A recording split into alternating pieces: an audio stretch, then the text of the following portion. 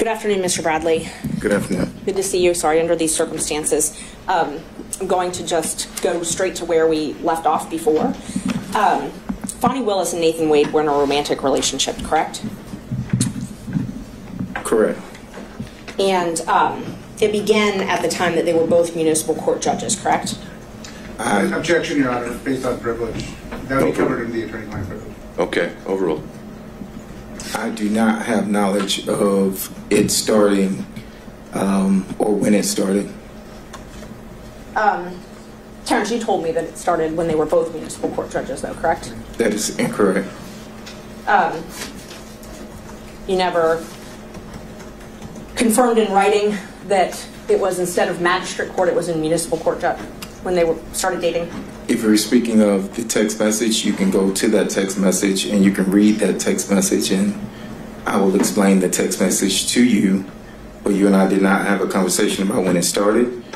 You asked a compound question of magistrate court versus. I mean, you, you said it was magistrate court, municipal match. I mean, you said uh, magistrate court conference. I'm sorry. Um, and then you asked another question. I said no. Municipal court. Nothing else. I'm referring to a different um, conversation. I asked you, do you think it started before she hired him? And I'm going to object, as this was covered uh, in the previous hearing, where um, Mr. Bradley said he had no personal knowledge of the exact text that Ms. um, Merchant is speaking of and actually used uh, in, a, to, in an attempt to refresh his recollection, and he explained exactly um, what he's explaining here before the court. So this is uh, repetitive and unnecessary, and so I would object to asked and answered and, and relevance at this point. All right, uh, perhaps we'll get there, but I think first Ms. Merchant has the right to draw his attention to the exact, potentially inconsistent statement. Thank you, Judge. Um, may I approach him? It's overruled. This is the text I gave you. So you can see. So I'm gonna need your glass here. And for purposes of the record, uh, I believe Ms. Merchant, you tendered, was it the entire text chain as an exhibit? Um, I only tendered a few of the texts, but I did give the state their co- their courtesy copies last time um, of the exhibits. Was this one tendered? This one was not tendered. All right. And I'm happy to tender it. Well, we'll just take it as it comes, whatever you. We're at, um, I think, I think we're at 39. I will wait to mark it, um, but I think we're at 39. May I approach it? You may.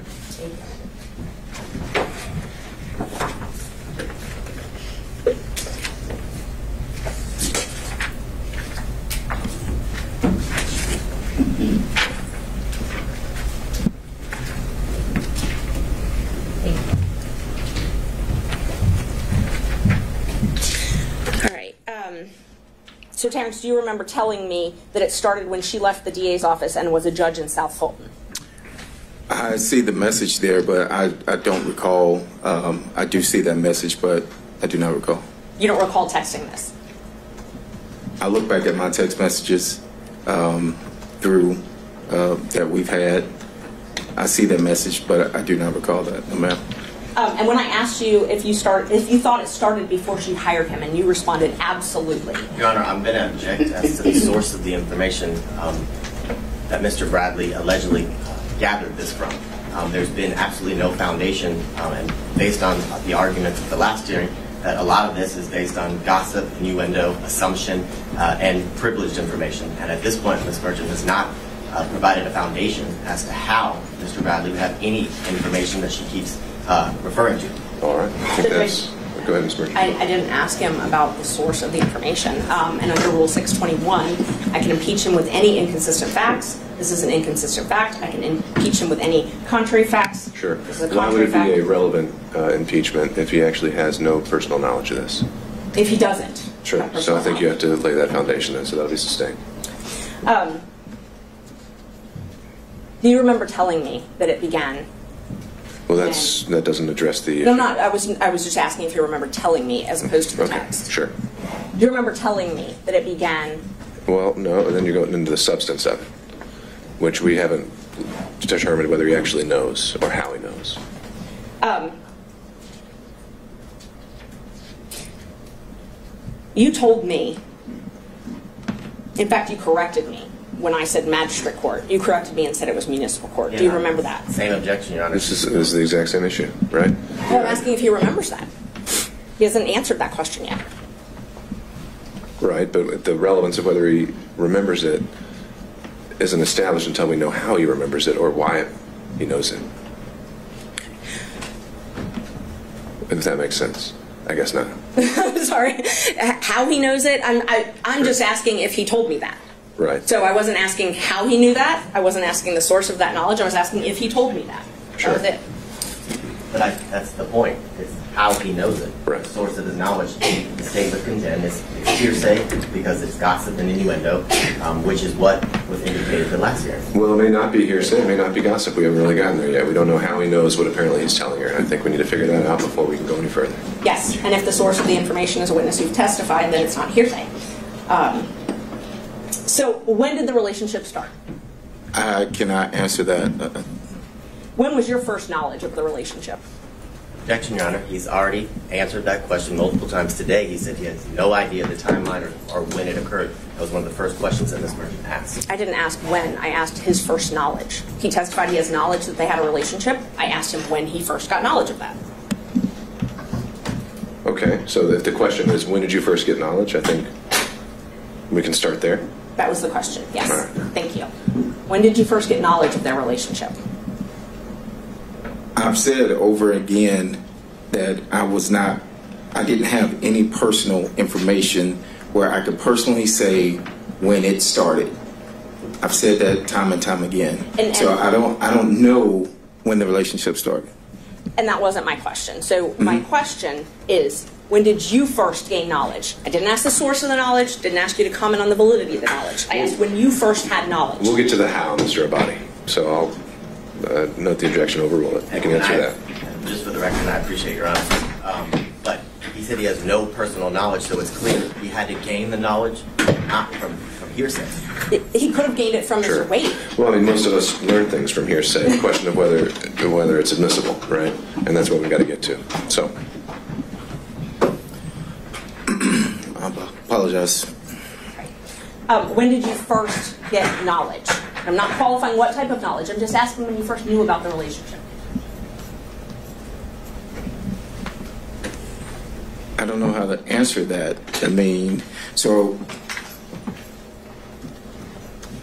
I can't give you a date if you're asking for a date. If you're asking me, how did I get the knowledge?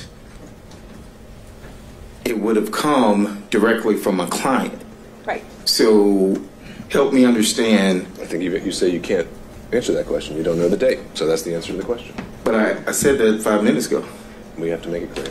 Yes, sir. Next question, Ms. Merchant. So you don't know the specific date. No. Do you know if it, can we narrow down the timeline? Was it, did you gain knowledge in 2019 of this relationship beginning? I'm going to object to this line of questioning as he said he does not know Sure. when he gained the All right. knowledge. He doesn't know the specific Uh, date. Fine, Ms. Merchant. I think we, I'm overruling that. I think we can try to see if he can narrow it down based on goalposts. Thank you. Um, 19, I would probably say no. I mean, I, I don't have anything that I'm, I'm, um, there wasn't a specific date. There wasn't a football game. There wasn't something that I can attribute to him telling me whatever. And so you're asking for a date, you're asking for a year, it's still a date. And at this time, I am telling you that I do not have the date. Um, let's try this then. So you received a contract from Ms. Willis um, January 2021, correct? Uh, can I see the? Yes, yes, I think so. Exhibits are, I think, okay. I think I, I think um, if it was from the uh, exhibits, I think it was 21. Yes. And I don't want to belabor the point, you did those Yes. when you were here before. Yes. Um, If those documents that you looked at last time Yes. said January 2022, that's, okay. 21. I I'm didn't- sorry, 21, you're right, thank And you. it was I think renewed in 22. It was, yes. So the contract date was, um, that we have in the record is January 25th, 2022. So using that date, at that point, had they begun their romantic relationship? of 2022. January 25th, 2022. 2021, I'm sorry. When you got your first contract. I.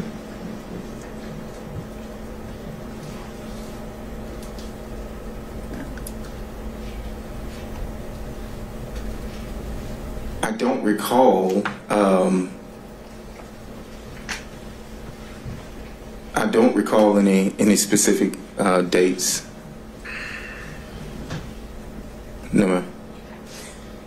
You remember when you got that contract, though, correct? I remember I had the contract. Yes. And you told us last week, or I guess it was the week before now, you told us that Mr. Wade brought you that contract, essentially told you about that contract. That is correct. Um, so Ms. Willis is not the one that brought that contract to you directly, it was Mr. Wade. That is correct. At that point in time, they were already engaged in a relationship, though, correct? I'm going to correct? object, Your I can't say that. Characterization of what Mr. Bradley just said. He just said he does not remember. There's nothing specific. He doesn't remember the exact date. I think the question now is to reference it or tie it to maybe some other event that he might remember. I agree with Your Honor. She asked that specific question. He said he does not remember any specific dates after signing the contract. That's exactly Sure. what he just said. This is asked and answered. I know, and we're getting to the end of it. So, Ms. Merchant, you don't have much more to pull on here, but uh, he answered that last question. So, what's your next one? Um, and, and Judge, I, I didn't hear the answer if they were in a relationship All right. January 25th, 2021. Mr. Bradley, do you recall the question? I, I, I recall the question, and I can't tell you accurately whether or not they were in a relationship at the time. You asked me about him bringing me a contract. I said he did bring me a contract, and that is accurate. Do you remember prior to, do you remember knowing Miss Willis prior to her taking office as the DA? I had very little contact with Miss Willis. Um, I knew her um, through my business of coming down to Fulton, if that's what you're asking. Yes. You knew her through the business, um, so had, you had met her prior to your contract. I'm going to object to relevance at this point as to why we're here today. Sure. Judge, he doesn't remember much of anything right now, and so I'm trying to create a timeline to hopefully piece this together. All right. Well, um, I, I- I'm not seeing really the, the likelihood that that's going to have any success. I'll, I'll let you ask a few more questions, but if he doesn't have a date, then I don't know that you're going to be able to create one today. Okay, thank you. Um,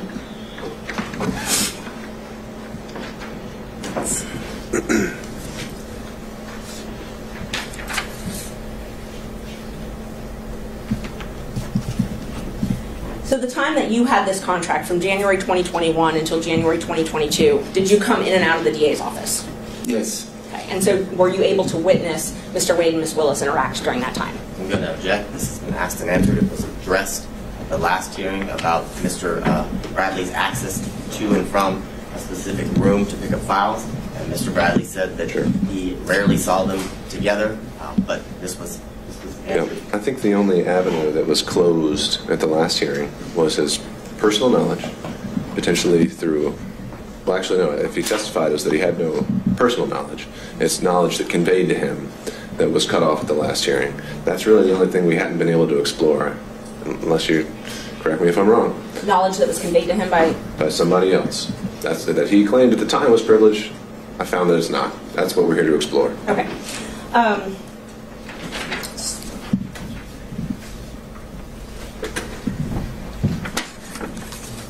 do you remember telling me that not many people knew where they met? I'm going to object as to relevance, as to his personal knowledge, which is what 602 requires. Yeah, I mean, we're back to the same point, Miss Merchant. His personal knowledge is what I'm asking him what he told me. But he hasn't yet told you how he knows that. And so, if, unless he, he can establish why he should be testifying on this at all, then there's no relevance. And I don't know what, how he knows that. That would be Then the next. Him. that would be the next question. But I Ask first, him how he knows it. I first have to establish that he said that. No, you don't. You could go the other way around. Um, when you told me that it started when you left, when she left the DA's office and was a judge in South Fulton, where did you gain that knowledge from?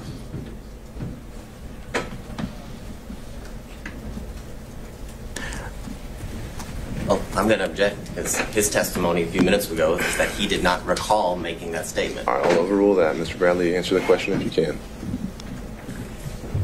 Repeat the question.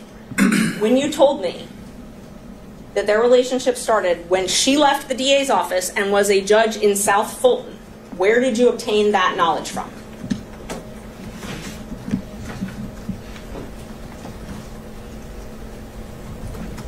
It was, I was speculating. Um, I didn't have a um,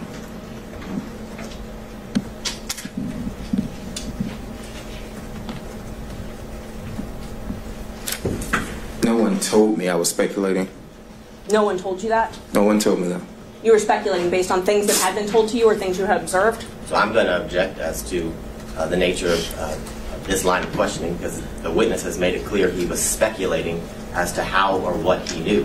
And if it's speculation, it's inadmissible for this court. All right, but the motivations for his reason for speculating would be admissible, so I'll overrule that. Thank you, Judge. Was this speculation when you told me that? Was that based on things that had been told to you and things that you had witnessed?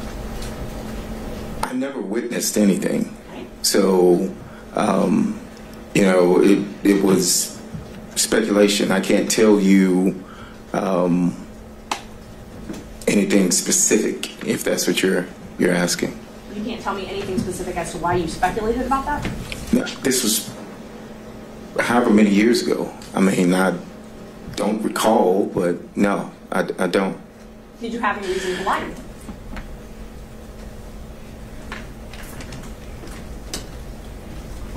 I don't know if speculation is lying, but I'm. Well, let, let me just, show me where in this text it says you're speculating. or You didn't guessing. ask me if I was speculating or guessing. I didn't ask you, but tell me if it says anywhere here that No, this is speculation. If this is the same one that you just showed me, it does not. And you're welcome if you need to to look at your text. Um, is there anywhere in here that indicates that you didn't have knowledge of this No. relationship? And I'm going to object. The line of questioning Your Honor directed counsel to uh, explore is where he got the knowledge. He's explored that. He said it's speculation, and he didn't get it from any source other than his own speculation. So I I, think I think we're flushing that out, and uh, I think it's her right to have a little leeway on this if he's an adverse witness. Thank you, Judge. And Judge, eh, these speaking objections are clearly coaching the witness because he's regurgitating. Your Honor, I, I, I What? object and take offense to that comment. I'm objecting based on the law, and I'm, and I'm making a record for the court. Um, so I, I'm, I take offense to that comment. It's not the case. All right, well, uh, I think we can start with uh, objection, the grounds, and the rule number, and then if I need more, I'll ask. Thank you. All right. Thank you. What did Nathan tell you about the relationship? Objection, hearsay. Nathan has testified. It's not Yeah. hearsay. It's still hearsay. It's an out-of-court statement being brought in, but the truth of the matter asserted. So hearsay. Judge, Yeah, this would be for impeachment by contradiction, which would be an exception to the hearsay rule, and admissible as substantive evidence, and the privilege issues are overruled. thank you, Judge. Well, I I think you just overruled the privilege objection, but but we don't know when he's talking about. So we've already established that December 2018 was the date of the privilege. Sure, and that's something I covered in the in-camera hearing, and I'm, based on what he told me in that in-camera hearing, uh, I don't believe any statements to this effect were covered by privilege. And Judge, I just want for the record, because sometimes the record doesn't reflect where people are looking, and that when I ask a question, Mr. Bradley is looking at Mr. Wade and his lawyer to wait for them to object, and they're clearly interacting somehow in the court. So I just want the ref- record to reflect that because it wouldn't otherwise. It's there now. Thank Uh, you. you- A question was put to you, Mr. Bradley. Judge, one of my lawyers is standing, is sitting right in the back, A, um, We're- that's we don't have to go down that rabbit hole. You can look wherever you want. Yeah, and I've never looked at Mr. Wade or his attorneys. That's unsculptured. All right. Mr. Bradley, the question was put to you. Oh, repeat the question, please. Yes. So I showed you, uh, or I asked you, I'm sorry, the question, the last question I asked you was what did Nathan Wade tell you about the relationship? Same objection, Your Honor. And that's already been ruled upon.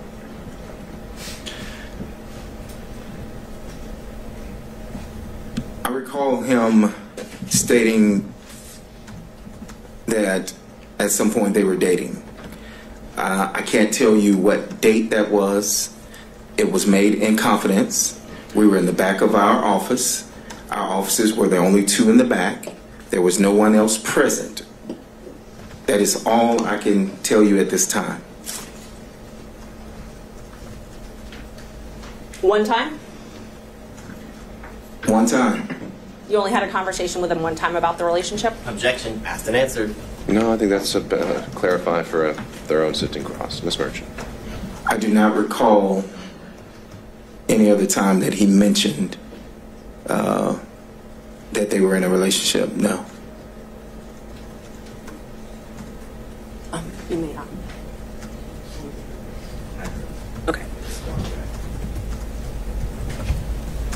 Um, so other than, so you talked about this one time, um, and you said you don't know when it was though, correct?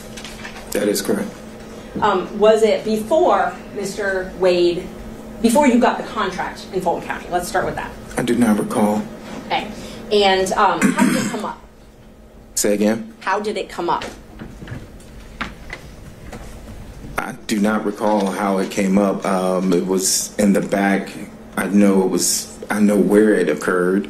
Um, in our offices in the back. I can't tell you what we were discussing prior to that. Okay. Did you receive an email from me on January 6th um, with a motion attached? I think I did. Yes. Yes. I know. I know. I, I received a. I don't know if the date is January 6th, but yes, I received that. Okay. Yes. Um, so you remember receiving that? Yes. The date, okay. Um, and you reviewed it, and then you, you and I spoke about it? You recall that?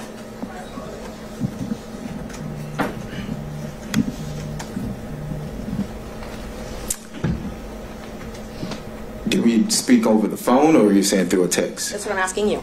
I, I can't speaking- remember um, whether it was text or phone or But you recall us speaking, one way or another? One way or another. Yes. Okay. Um, and where I was trying to confirm the facts in that filing. I think I remember um, there was a line of about um, the accuracy of um, how much money that my office, the law, the law office of Terrence A. Bradley, uh, have received, um, and whether or not that was going to be in the motion or not. Well, there wasn't a discrepancy. I had kept that out, you asked me to put that back in, correct? I don't. I, I recall you. Um,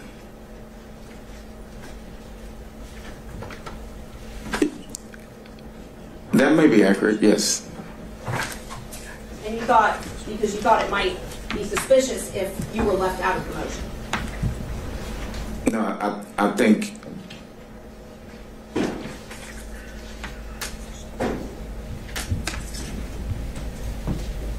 We discussed that it should reflect the accuracy because the accuracy was that I received, um, had a contract and received 74 grand, 74,000. Um, and I think you had put in there that Mr. Campbell had received a certain amount, and then you also had put in there that Mr. Wade had received a certain amount. But there was not anything in there originally, and I said that it needed to be accurate. I needed to be accurate as far as that I had received seventy-four thousand. That's correct. Because you did not want anyone knowing that you had talked to me. I'm going object this for relevance. Be biased. Or I wanted you to be accurate as far as the accuracy of our message or or your filing. Okay, so that was your, so your interest was in, in accuracy of the filing. I didn't reach out to you and say send me a copy of your motion. Right. I didn't reach out to you to say that you were that I'm going to be in your motion Right. I asked you to review it for accuracy. for accuracy, and I just stated that it was inaccurate. And the inaccuracy that you pointed out was the thing about your salary, or how much you had made. That was the inaccuracy that I, I saw that jumped out was the fact that um, I saw that I was left out when you had put Okay. the firm um, the money was. I did not. I did not. Um, when I responded to that, it was for that specific reason.